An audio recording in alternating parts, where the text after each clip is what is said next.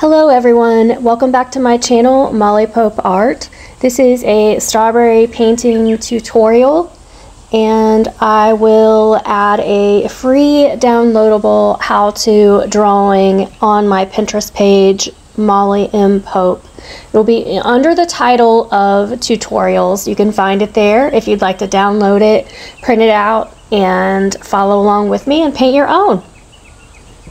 The colors I'm using to paint this strawberry, um, first off, is I am adding a permanent red uh, wash over the entire strawberry and that is the base coat for the strawberry. So just a permanent red. Um, this actually, the color of permanent red is a Hobby Lobby color. I use a lot of different colors um, in my paint arsenal. Um, I use Liquitex colors and then sometimes I will go to Hobby Lobby and get paint colors and their acrylic paints are just as nice as Liquitex. Um, and then I'm adding a little bit of a Prussian blue to my red um, just to deepen it a little bit and add um, a little bit of shading to the strawberry, particularly around the edges of the strawberry and where the leaves lay over the top of the strawberry. And I'm going to let that dry down a little bit um, because it's easier to work and add shading and dimension over the top if you let your painting dry down a little bit and do your layers and stages. Um, and then, so this tutorial has a larger strawberry that you see to the left and then I painted a strawberry, a smaller strawberry to the right, which is a little bit smaller and not quite ripe strawberry. Um, I wanted to show what a strawberry that was in the middle of ripening looked like and just to add a little bit of interest to my finished artwork. Um, so that strawberry, the bottom of it gets base coated with a mixture of yellow, um, uh, excuse me, light olive green mixed with a little bit of white. So that gets the lower portion of the strawberry and then what I'm showing you now is how to blend um, the red with the green. Um, now, red and green are complementary colors, so if I were to just directly sort of mix them together um, full strength, what would end up happening is because they are opposite each other on the color wheel, um, they would cancel each other out and they would you would end up with sort of like a muddy um, not pretty um, mess on your strawberry. So what I did, half of it went um, that light um, olive green mixed with white, and then the top half, how I mixed the top half was I used the red mixed with white, so it's sort of like a pink color, sort of like a watermelon pink color. Um, and you want to make sure that both of those areas where those colors meet are wet um, not not soaking wet, but you want there to be somewhat of a moisture um, between those two areas where they meet. And then what I'm doing now is I'm using a brush and um, re-wetting the green area since that got painted first, and then adding white to each of those mixes uh, of the yellow, green, and the red, and sort of blending those two areas together by sort of scruffing them together and overworking that area a little bit so that you'll get a nice, um, not a solid line uh, between the red and the green, but sort of mixing them together a little bit, just using um, a brush and blending, lightly blending those areas together using some um, patience mainly and it takes a little bit more time to blend those two areas together but I promise you it is well worth your effort. You'll have a nice pretty strawberry that still has the whitish green bottom part um, and then you'll have the upper area where the strawberry is ripening. You'll have that effect of it looking a lot more realistic and sort of a soft blending together of those two areas. Now I'm working on the larger strawberry leaf that is under the larger strawberry. And I wanted to paint these leaves with a little bit different mix. So I used um, the hooker's green and I mixed that with burnt umber um, which is a mix that I use a lot in my painting of my leaves and vines. Um, it's a really beautiful mix that looks a lot more realistic than, say, the green straight out of the tube. And I added a little bit of Prussian blue to that mix because I really wanted the um, leaf to have a little bit more of a sort of deeper olivey green um, mix with tinging it on a little bit of the cool side. So that's why I added um, the Prussian blue. And I used that stronger mix um, under where the strawberry sits on top of the leaf um, or appears to. So use that mix for your shading as well. And the leaf to the right that's under the red and, and um, green strawberry um, I made that a little bit different and that mix is used with a little bit more of the light olive green mixed with a little bit of the brown, not too much because it's also next to that strawberry that is maturing, the red and the green. So I wanted that leaf to also appear to be a little bit younger. And so I wanted it to be a little bit brighter. Now, again, just like we did with the strawberries, um, we're working in layers. So now I'm going back over that first leaf that I painted and adding a second layer of paint color. And you can see it's a lot stronger mix of um, the burnt umber mixed into that green. And I also used yellow oxide, um, which is a yellow ochre color. Um, and here I'm adding that shading with the Prussian blue over the top too. So I'm working back and forth between all of those colors, the, adding the blue into the green and then adding a little bit of the yellow into the green to get a lot of variances in that leaf color. I really like how it turned out. Um, so hopefully you'll you'll like it too and you'll give it a try.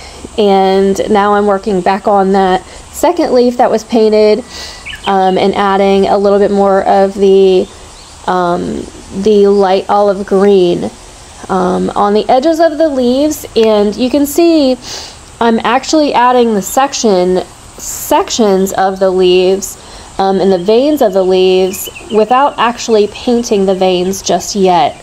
So I'm just pretending that those veins are already on the leaves um, just kind of knowing beforehand where those leaf um, veins are going to go. And so I'm painting those sections in between where the veins are going to go. If you need to paint your veins first so that you can sort of have a roadmap and see where you need to add those leaf sections, by, then by all means, paint your veins first. This is just a different way of painting leaves um, that I found that I really like to paint. So it's totally up to you how you do it as long as your end effect is a leaf that has um, veins and little serrated sections. Um, however you get there is fine.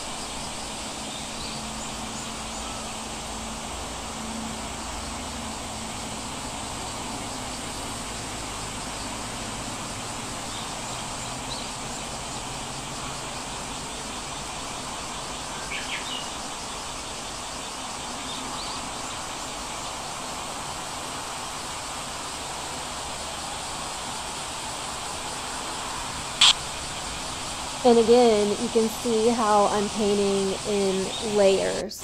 um, acrylic painting, even though it gives nice coverage versus, say, watercolor, um, you have to paint your paintings in layers. Um, so, and that's just sort of building up layers um, over and over again, as many layers as you need, and letting each layer sort of dry down a little bit so you don't get a goopy mess on your paintings. Um, now I'm adding some highlights to the strawberry. We're going to go back and we're going to add um, some dimension to that strawberry before we add in the seeds. And um, that mix is just basically using the red paint that was based, um, used to base the strawberry in and adding some white to it and hitting that area of the strawberry where light would be reflected off of it. So that is the upper side of the strawberry, um, a little bit towards the middle. And you want to stay away from the edges when you're painting um, dimension and you're painting realistically. So now I'm going back in and adding a little bit uh, stronger, um, um a little bit more layering of the original red. So you can kind of see where my highlights are already. They're beginning to show on the strawberry. So you want the edges to be dark um, to show that it is sort of a rounded object and moving away from the light. And the part of the strawberry that is rounded and would be hitting the light strongest, which is the upper um, left-hand side. If our light were coming from the upper left-hand side, you would have the stronger highlights in that area. Um, and now I'm base coating the leaves that are on the top, the top of the strawberry, the little cap that's on the strawberry.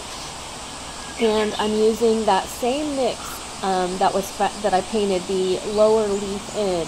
So a little bit of Hooker's Green mixed with burnt umber and the smallest amount of the Prussian blue.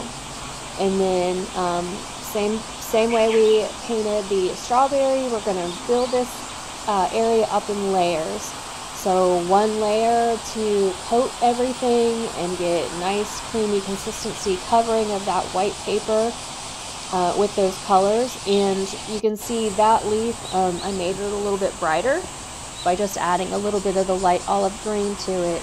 Um, again, um, when you're painting realistically, you want to have a variance in your colors. Not everything should be exactly the same as what's next to it. So make sure you're varying your paint a little bit um, by adding a little bit of this or that, depending on what it needs um, to get it to look like your reference photo. Um, I used the Prussian blue down in the center of that leaf cluster um, just to make sure that it looked like there was some dimension and some depth in that area because those leaves are growing out of the top of the strawberry and you want to give that impression by adding a little bit more depth of color um, in the middle of that leaf cluster. Now I'm painting the leaves that are on the lower, um, smaller strawberry, and those leaves that are in the back side that are kind of sort of tucked behind the larger strawberry, um, I made them a little bit deeper, and I made them a little bit deeper by just adding a little bit more Prussian blue to that area, so they would appear to be in shadow. And the leaves that are towards the front of the strawberry, um, the top front of the strawberry, just got um, I added more light olive green to that mix so they appeared a little bit brighter and that will automatically make them appear to be more upfront.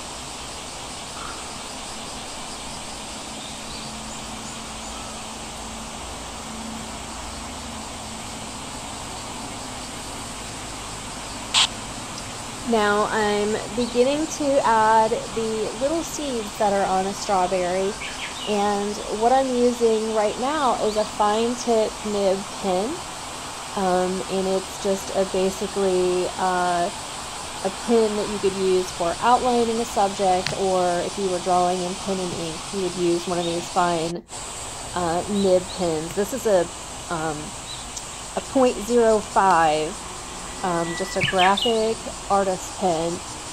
Um, and when you're adding your strawberry seeds to your strawberries, they would not be in straight um, horizontal lines on your strawberry. The way you would add your seeds, it's very important that the seeds follow the shape of the strawberry. And since these strawberries are both sort of, um, you know, I painted them to look like they were still attached to the strawberry plant, and you'll see when I add the stems, um, paint the stems in here in a little bit. But your seeds need to follow the shape of the strawberries. So um, they are spaced out, they kind of um, are drawn in semicircular patterns kind of around the strawberry. Here I think you can see a little bit more with me painting the base color of the seeds. And that base color for those seeds is just a really watery wash of um, burnt umber. And I'm using a smaller brush to now paint the seeds. Um, and that will I'm just basically using my roadmap that I already started by using the artist pen. And again, just a watery wash of the burnt umber. The next color that goes over those seeds, um, and I'm just repeating the same process for the large strawberry and the smaller strawberry. Keep in mind that when you are adding these uh, seed beds to the smaller strawberry, they should also be smaller in size because they're growing on a strawberry that's still um, growing basically. So just keep in mind that the scale difference on the seeds of the large strawberry should be exactly that, larger. And on the small strawberry, they should be a little bit smaller.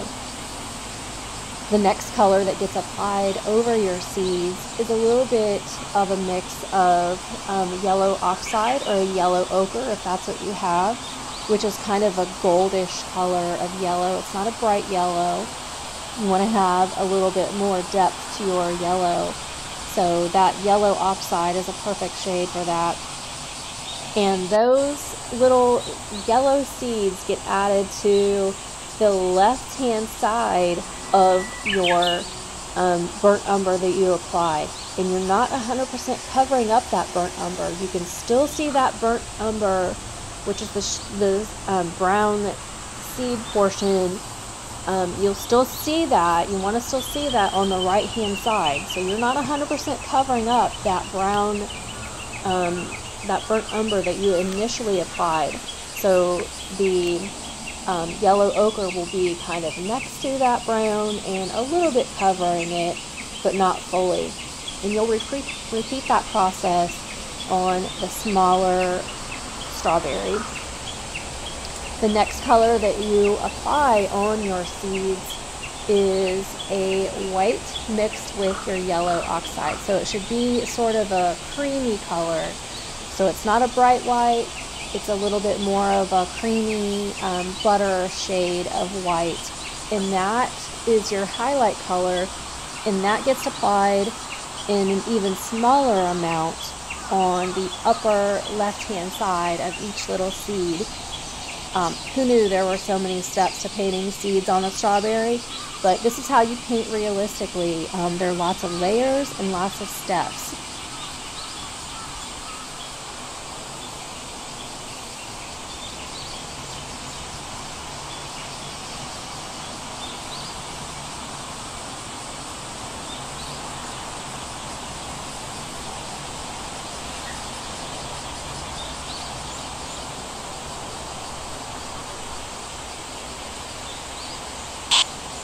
Now I'm beginning to paint the stems on this strawberry, little strawberry cluster. And the colors that I used for the stems is a very watery mix of hooker's green with that burnt umber mixed in.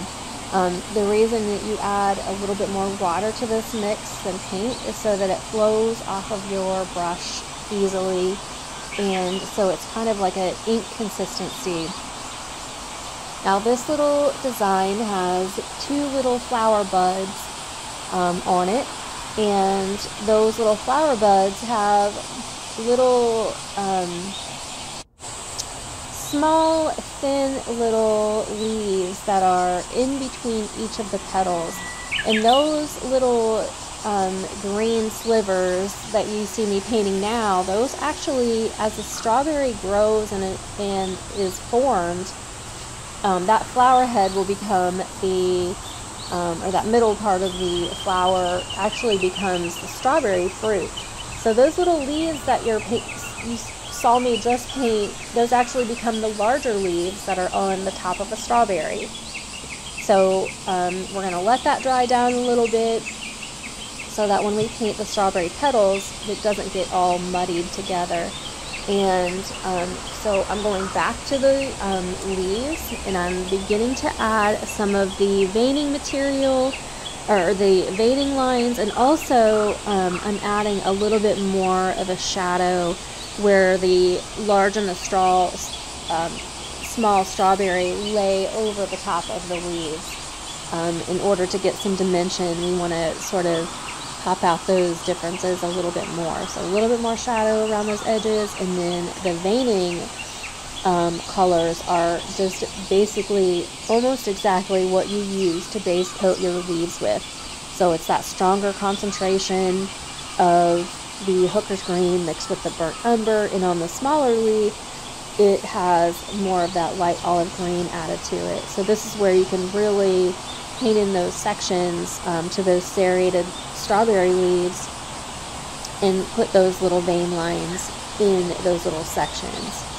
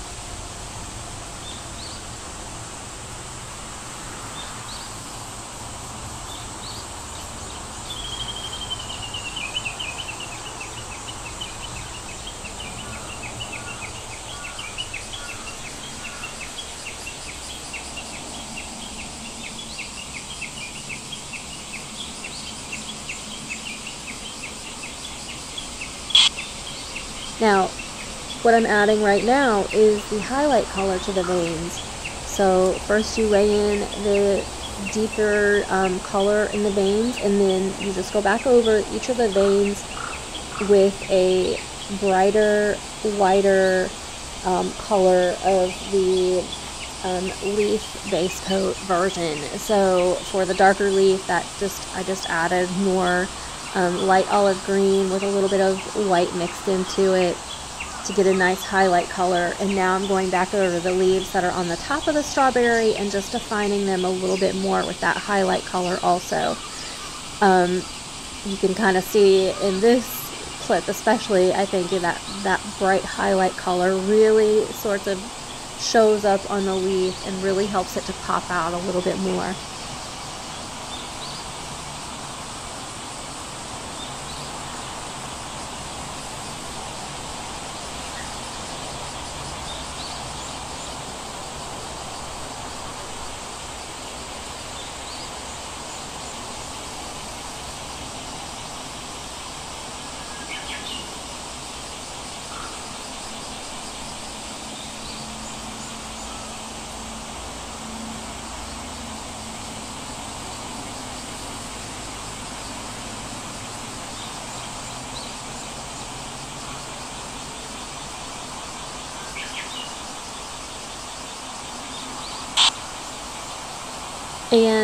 I'm adding a little bit more of a deeper uh, shading color around the strawberry leaves and around the edges of the strawberries um, and that mix is that permanent red mixed with the Prussian blue. It makes a really pretty shading red um, and just to sort of give your strawberries a little bit more dimension.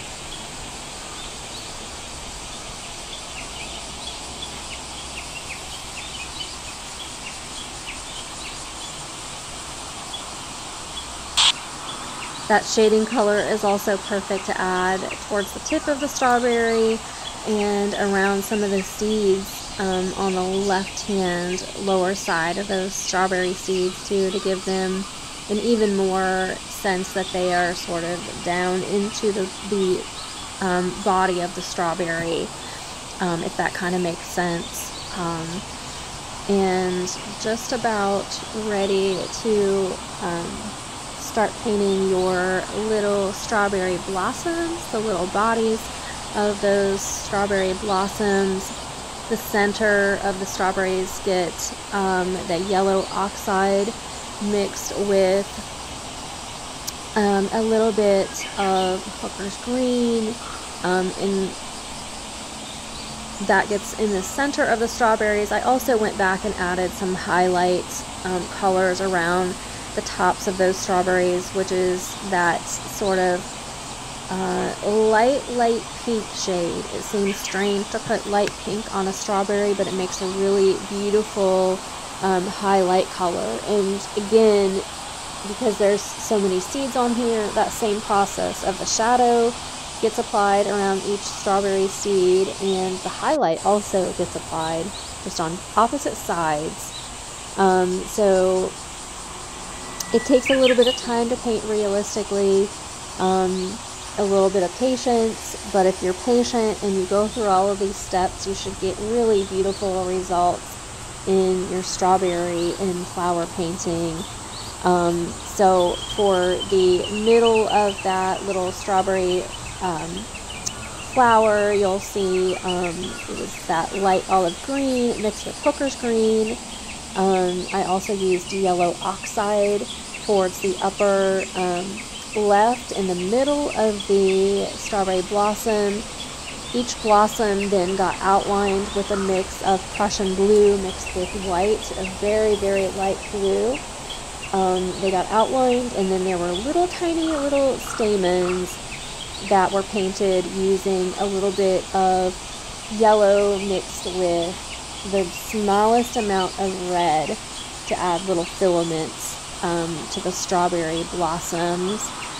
And again, I will add the um, drawing or a drawing um, along with the names of the colors and the paint colors that I used, um, little paint swatches. That will be, I'll put a link in the description for this video.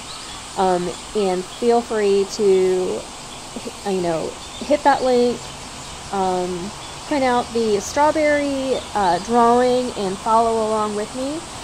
If you have any questions um, or comments, I'd love to hear them. Um, and I really appreciate you spending time and watching me paint and learning how to paint. Let me know if you have any questions. I'd love to hear them. Thank you so much. I hope you have a great rest of your day.